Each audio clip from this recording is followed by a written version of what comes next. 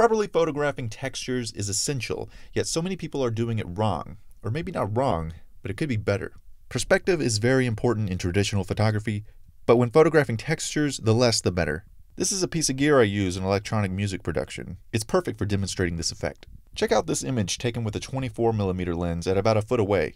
If you look at the center, everything looks fine, but as we get closer to the outside edge, you'll start to notice that not only can you see the surface of the knob that faces the camera, you can also see parts of the side as well. This is an issue if you project the image onto an object in Blender. So how can we fix this? Simple. Just back the camera up. Here's the same image, but with the camera twice as far away and a 50mm lens.